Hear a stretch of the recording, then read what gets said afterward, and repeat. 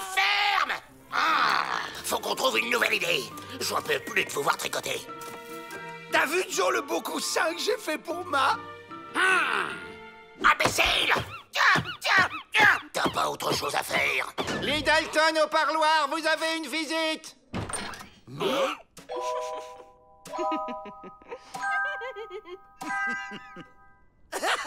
Joe Un miroir déformant Joe, t'as pas changé.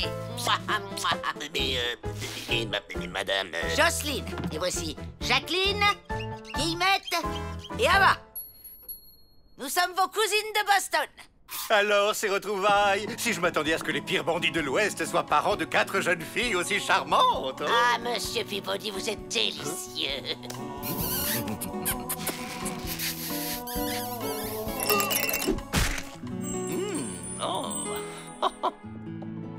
Naturellement, vous êtes mes hôtes Je vous fais faire une petite visite Je me demande bien ce qu'elles viennent faire là. Mais Joe, elles sont venues nous voir C'est quand même la famille Oui, bah moi je dis que c'est pas normal.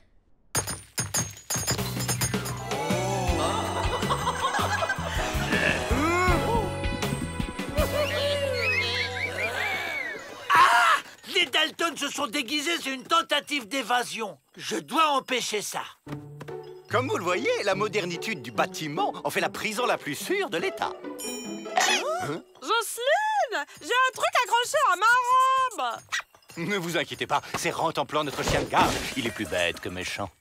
Les probabilités d'évasion sont minimes, sauf naturellement si l'on profite de la relève de la garde qui a lieu toutes les 8 heures et qui dure 9 minutes pendant lesquelles la porte reste sans surveillance. Mais encore faut-il avoir la clé. Ce sont les gardiens qui les ont. Et voyez-vous, ils ne sont pas prêts à les donner. Joe, petit gredin, comment ça va ce matin? Euh, euh, D'abord, je suis pas petit, je suis juste euh, moins grand. Enfin, un peu. Ça vous dirait de vous évader? J'ai un plan, Peabody m'a tout expliqué. Mademoiselle Jocelyne? Oh, bah ta bonne mine, hein Ça fait plaisir. À présent, passons aux écuries, si vous le voulez bien. Oh oui, volontiers.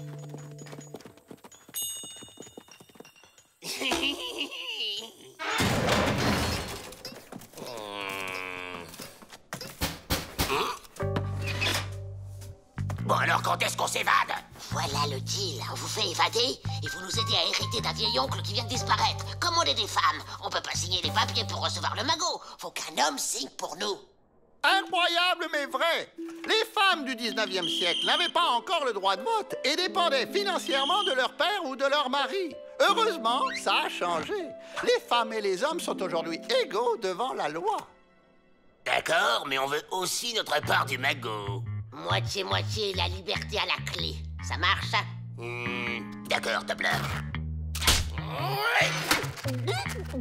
On va garder tout le fric pour nous. Elles pourront rien faire, c'est des femmes. T'es pire que la loi, Joe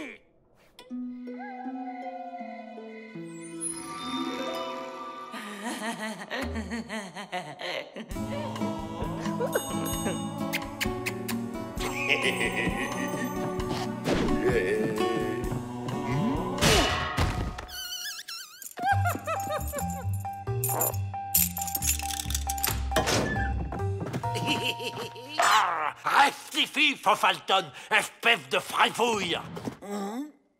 Ah non, ça suffit, maintenant je suis fatigué.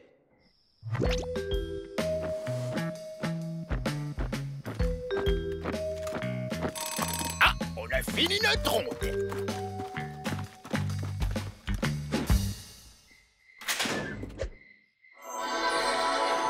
ah, ça a marché Vive la famille Il y a des vêtements dans cette malle, mettez-les. On ne peut pas laisser autant de Dalton dans la nature, c'est dangereux.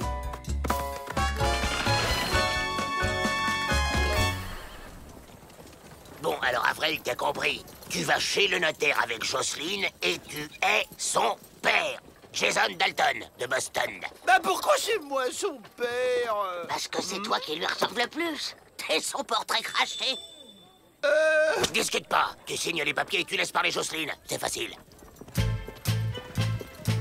Bonjour monsieur le notaire, c'est moi Jason, le papa de ma cousine Jocelyne. On aurait peut-être pas dû envoyer Avrel Vête en état d'arrestation. Bonjour,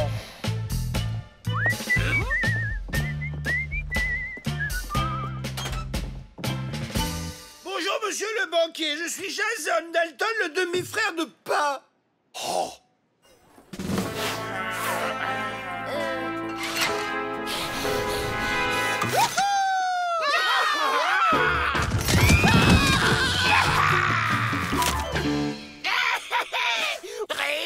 Riche On est riche Erreur, cousin. On est riche. Cet argent va financer des actions pour les droits des femmes. Ouais, assez de domination masculine. Vive les femmes Ah ouais Et que peuvent de faibles femmes contre les pires bandits de l'Ouest? Laisse-moi réfléchir. Les truffes de plomb.